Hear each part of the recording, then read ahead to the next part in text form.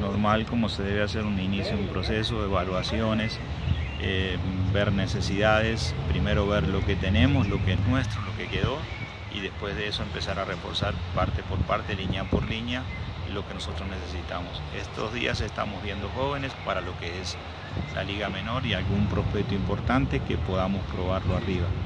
Esto va a seguir hasta el día de mañana, jueves y viernes seguimos con jugadores que ya son profesionales y la semana que viene unimos el grupo nuestro, lo que ya están arreglados, con algunos invitados, con gente que queremos ver para realmente eh, tener el grupo definido para arrancar el día 20 la pretemporada. Eh, el tema de la desbandada es algo normal en el fútbol. Eh, hay jugadores que a veces realmente les interesa jugar en una categoría diferente a la que estamos nosotros, lo cual uno tiene que respetar, compartir o no compartir es algo diferente. El hecho nada más a veces también hay que pensar un poquito en lo que es la estabilidad o la seguridad que te puede dar un equipo. Entonces por ahí donde puedes decir este, que, la cosa no hubiese sido de esa forma. Lógicamente mm, para esta categoría también de repente lo que buscamos son jugadores con una actitud diferente, con jugadores, el jugador que quiera quedarse, el jugador que quiere la camisa y quiere defender la institución. Nosotros mm, no nos interesan nombres, nos interesa hombres que vengan a hacer el trabajo. Los tres extranjeros estarán aquí también la próxima semana. Son dos hondureños y un argentino.